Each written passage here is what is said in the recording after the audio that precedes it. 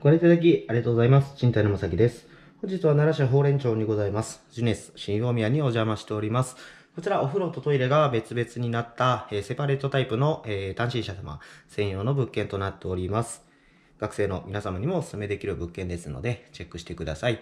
えーマカス君のおすすめポイントも、え出てきます。ではですね、早速、こちらの玄関スペースからご紹介いたします。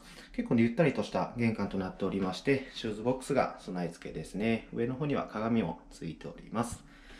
で、玄関入りまして、右手の方には、ね、洋式のお手洗いがございますね。清潔感がございます。またこちらがお風呂となっております。洗面台と、えーセットになった綺麗なお風呂ですね。こちらも綺麗です。上の方には換気扇もついております。またこちらキッチンとなります。一口のガスコンロがついたキッチンとなってまして、下の方には冷蔵庫も備え付けです。またですね、えーこちらおすすめポイントの一つ目となります。こういったね、キッチンの横に収納スペースがございますので、ま食器棚としてね、ご利用いただけますし、ま日用品のストックなんか収納していただくのにも便利ですね。で、えこちらがお部屋部分となります。お部屋入りまして、左手の方に室内の洗濯機置き場がございますね。こういった室内で洗濯物が回せるっていうのはね、非常にいいポイントですね。お部屋の方にはエアコンでしたり照明があらかじめ備え付けとなっておりまして、壁の方にはこういったハンガーをかけていただけるようになっております。